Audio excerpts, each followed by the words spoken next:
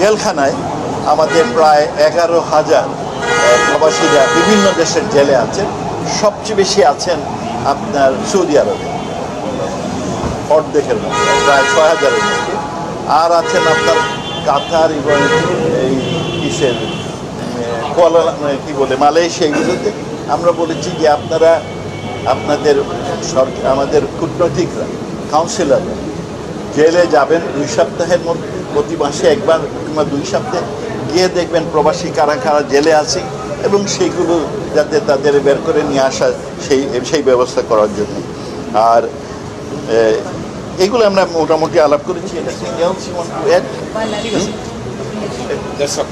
এইগুলো আমরা এখানে আলাপ করেছি যে আগামীতে আমাদের নেক্সট মিটিং এর আগে আর আমরা এই কয়েকটা নির্দেশনাও দিয়েছি ভারত পররাষ্ট্র মন্ত্রণালয় মন্ত্রী সাহেব সাথে হাতে নির্দেশনা দিয়েছেন যে এইগুলোর ব্যাপারে অ্যাকশন নেওয়া। আমরা বলেছি যে বিদেশে বিভিন্ন ধরনের প্রচারণা হয়, এগুলো কিছুটা উদ্যোগ হয়েছে।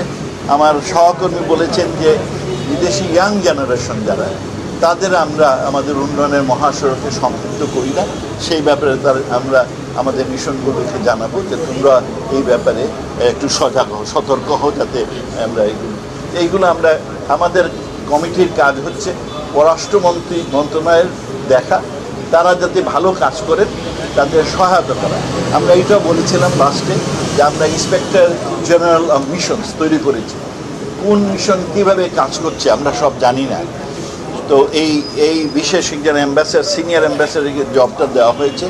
উনি এবং পররাষ্ট্রমন্ত্রী আজকে বললেন যে আরেকজন সিনিয়র অ্যাম্বাসেডারকে ঢাকায় নিয়ে আসতেছেন এবং উনি বিভিন্ন মিশনে কাজকর্ম কীভাবে হচ্ছে মানুষের হয়রানি কীভাবে দূর করার চেষ্টা করছে, সেগুলোর উপরও তারা দেখভাল করবে।